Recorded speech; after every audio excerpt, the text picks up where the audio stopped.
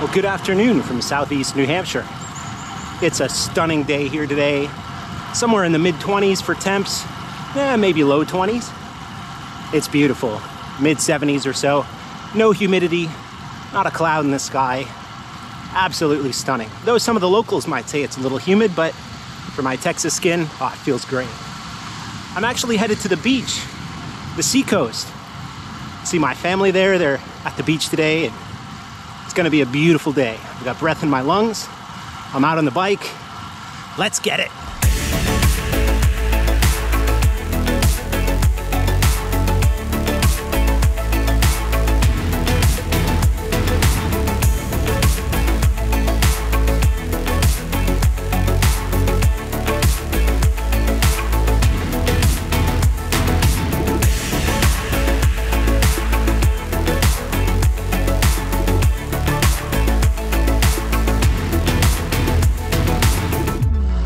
Just got a nice steady zone two ride on the cards today. It'll be about three and a half hours total. But I've got to soak it up while I can because I'm headed back to Texas for a student ministry soon. And this is the last of this weather I'll have for a while.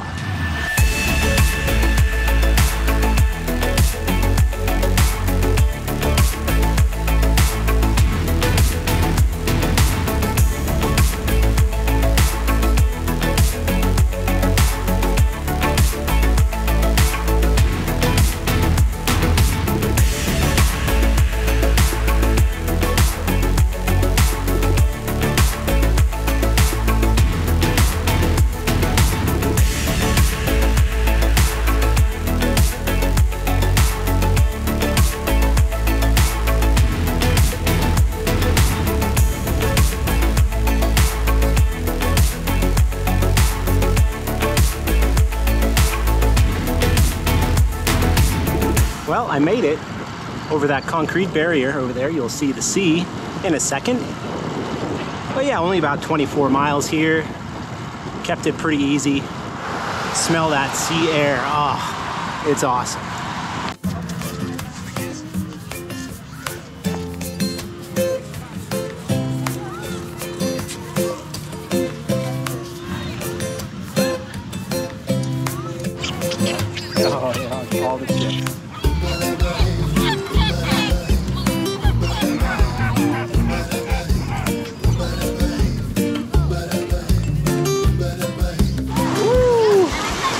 Kind of cold.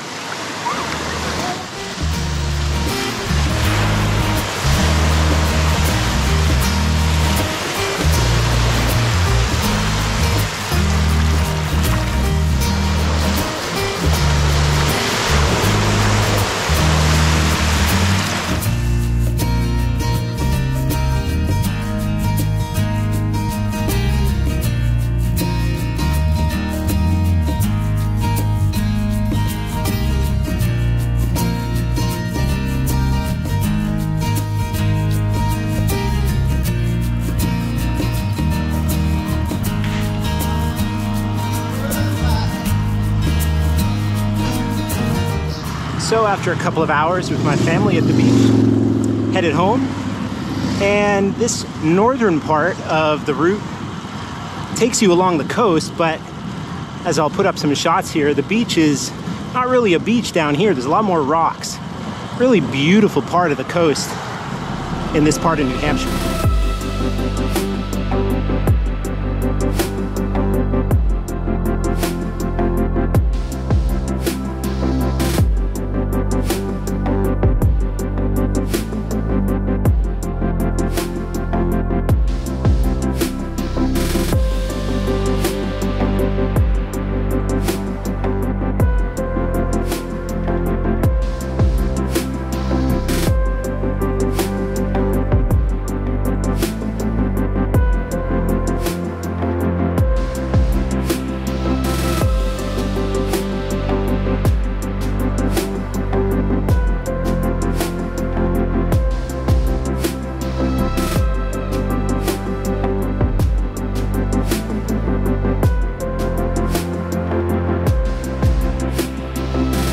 So I'm on some back roads now with little to no traffic. I've got about 12 miles to get home.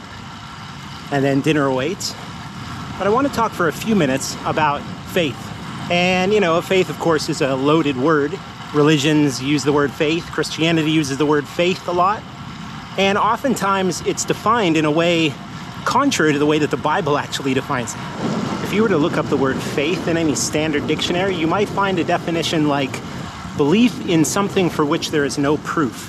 And that's just an unfortunate definition because when someone thinks of having faith in God or faith in Jesus, they often think you need to conjure up something for which there's no proof. You just have to go, okay, just gonna grit my teeth and believe it even though there's no evidence for it.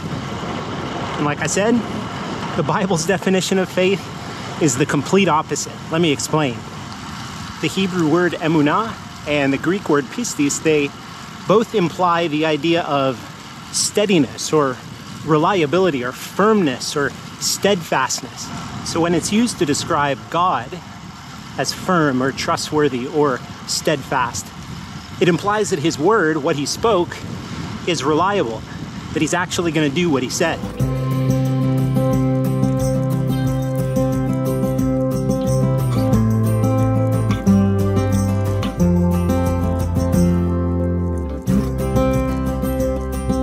Certainly is nuance to those words in Hebrew and Greek, but I hope you can see the last thing that it means is belief in something for which there is no proof. In fact, there are so many examples in the scriptures of men and women who had faith in God, who counted him and his words as trustworthy and reliable, not because they just blindly believed, but precisely because they had seen the proof that he had been trustworthy and reliable in the past. In other words, his track record is what provoked them to go, God's going to do everything that He said.